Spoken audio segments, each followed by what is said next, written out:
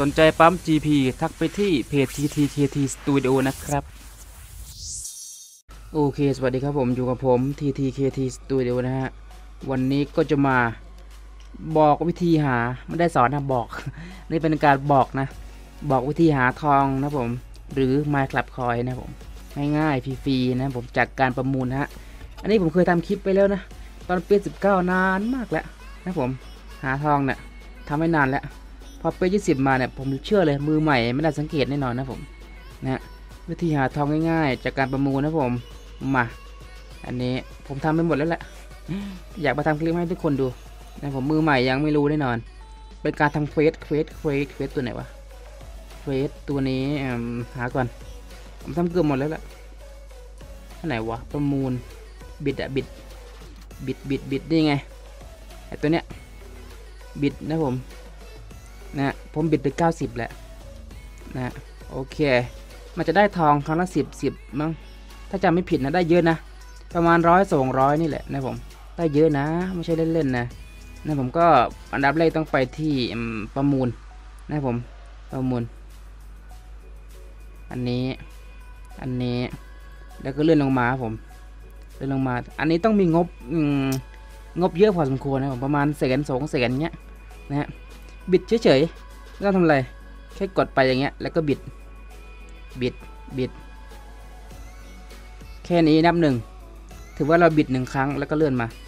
ทำอย่างเงี้ยไปเรื่อยครับผมทำจนจบทำทุกวัน ก็จะได้นะผมมันเป็น quest เว้ย มันเป็น quest ที่เรา bid เลย ก็ bid ไป ผมขอสักสิบครั้งแล้วกันวันนี้ เพื่อเอาสิบ myClub coin มาสองพันก็ได้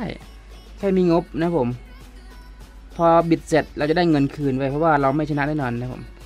ถ้าไม่ชนะประมูลเราจะได้เงินคืนนะฮะอันนี้สำหรับมือใหม่นะ บางคนคนเล่นมานานบางคนก็ไม่รู้นะผมจริง เดี๋ยวพอเราไม่ชนะประมูลเดี๋ยวเราก็ได้เงินคืนนะไม่ต้องห่วงแล้วก็บิดไปเลย ไปเรื่อยๆหมื่นสองไม่เอาแพงไปพกหกพันเนี่ยกำลังดีครับผม ไม่เกินหมื่นแล้วกัน นะฮะมันก็มีฟุกอยู่นะ เคยเคยมีนะ บิดไปแล้วฟุกฟุกแบบชนะประมูลอย่างเงี้ย ก็เคยมี แต่ก็ไม่เป็นไร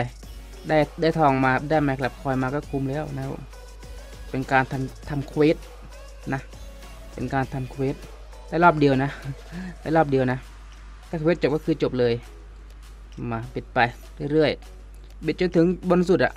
นะครับผม ในนั้นไม่เลื่อนลงมาล่างสุดแล้วก็ bid ขึ้นไปอย่างเงี้ยนะตามๆเลยก็ได้ bid ไปเรื่อยอย่างเงี้ย มีเงินสักสองแสน ก็ทำได้แล้ว โอเค ผมจะ bid ให้หมดแม่งเลยเอ้ยหลักหมื่นอย่าเลยหลักหลักหมื่นเชี่ยสองหมื่นแปดพันก็กำลังดี โอเค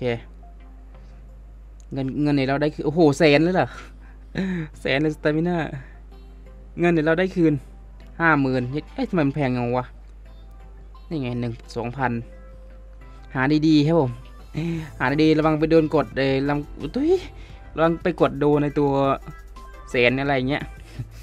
นะดูดีๆ นะครับผมแล้วทำไมมันหมุนนานไหมเนี่ยฮัลโหลโอเค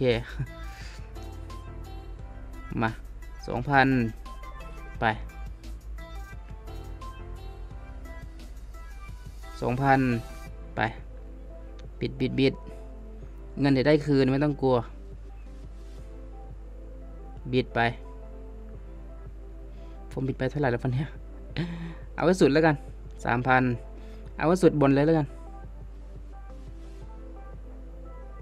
ได้อยู่นะประมาณร้อยสองร้อยนะเนี่ยทำอันเนี้ยจนจบ quest เนี่ยร้อยสองร้อยทองเลยนะ นะผมไม่ต้องไปเติมร้อยสองร้อยทองก็เท่ากับหนึ่ง feature แล้วสองร้อยหนึ่งร้อยก็เท่ากับหนึ่ง feature แล้วสบายนะผม quest quest บางคนอาจอาจมองข้ามนะ บางคนอาจไม่เคยประมูลด้วยซ้ำอย่างเงี้ย มีผมเนี่ยไม่ชอบประมูลเลยนะน้อยคนที่จะประมูล บอลดำก็ถามว่าหายากไหมก็ไม่นะ เดี๋ยวนี้ feature บอลดำเพียบนะผม แต่ base อะหายากหรือ base player หายาก แต่ feature หาโคตรง่ายเลยเดี๋ยวนี้หาง่ายกว่า base อีก สมัยก่อนหาโคตรยากบอลดำแต่ละตัวเปสเปดมันมีบอลดำเป็นสามตัว เล่นเล่นทั้งปีได้ดำสามตัว โคตรยาก หลังๆเนี่ยโอ้โหเปสิบเก้าเปสิบเนี่ยเล่เกมสองวันได้ดำละสิบตัวยี่สิบตัว สบายนะผมดีกว่าแต่ก่อนเยอะ อันนี้ก็เป็นเทคนิคหนึ่งนะผม เป็นเทคนิคหนึ่งที่มาแบ่งปันกันสำหรับมือใหม่ มาพอยัง พอยังแค่ลองให้ดู น่าจะพอแล้วนะผมเนี่ยเหลือเยอะเลยเนี่ย ถ้าใครว่างๆก็นั่งกดเล่นเลยผม ใครว่างก็นั่งกดเล่นไป กดบิดกดบิดนะผม นี่ไง ได้เงินคืนแล้ว ได้เงินคืนบางส่วนที่เราไม่ชนะประมูลนะนี่ ได้เงินคืนชิวๆนะผม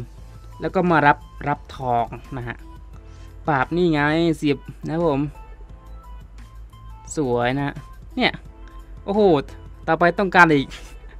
ร้อยห้าสิบนะผม bid ไปร้อยสิบสี่นะเนี่ย มันเป็น quest เว้ย quest ที่แสนง่ายง่ายแค่กด bid bid bid นั่งเล่นเล่นก็กด bid bid ไปนะฮะ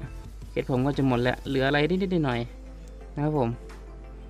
โอเคนะครับผมวันนี้ก็มาบอกวิธีเทคนิคดีๆ ในการหา myClub coin ฟรีนะครับผมเป็นการทำ quest นั่นเองนะฮะโอเค